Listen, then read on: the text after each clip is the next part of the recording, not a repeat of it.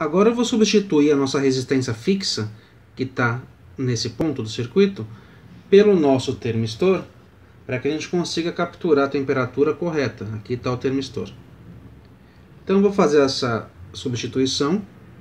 Eu removo a resistência fixa. E vou colocar o termistor. O nosso NTC. Então pronto, substituído. Observe que o LED aqui, ele não está mais ficando durante todo o intervalo de 5 segundos aceso. É, o, o, período não dura mais 5 segundos, ou seja, 3 segundos com ele, com ele aceso e 2 segundos com ele apagado. Eu já vou explicar para você por que isso está acontecendo lá no código. Mas o importante aqui é que você perceba que eu troquei o nosso resistor, que fazia par com o capacitor, removi o resistor fixo e coloquei o termistor. Vamos lá para o código para ver quais mudanças eu fiz. Vamos lá. Voltando ao código, vamos ver a, o resultado da nossa temperatura agora usando o termistor.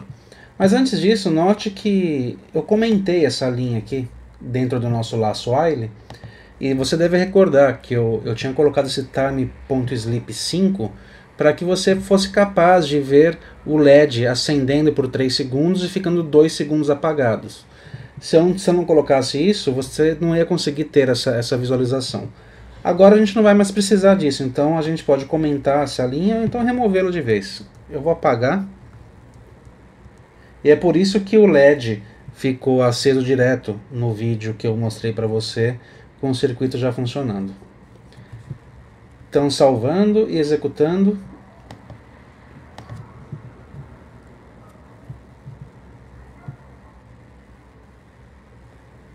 Vamos lá. Então aqui o nosso termômetro.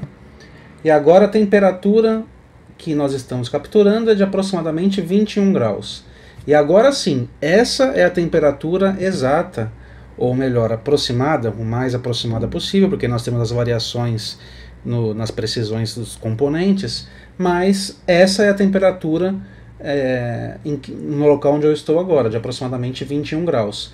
E isso é verdade porque nós estamos utilizando o NTC nesse momento e não mais aquela resistência fixa. Nosso termômetro já está praticamente pronto.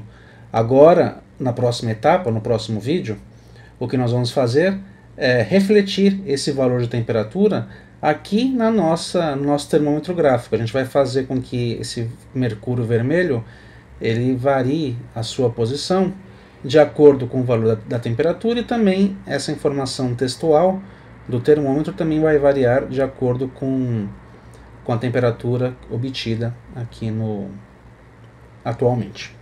Então vamos lá, vamos ver como isso vai funcionar.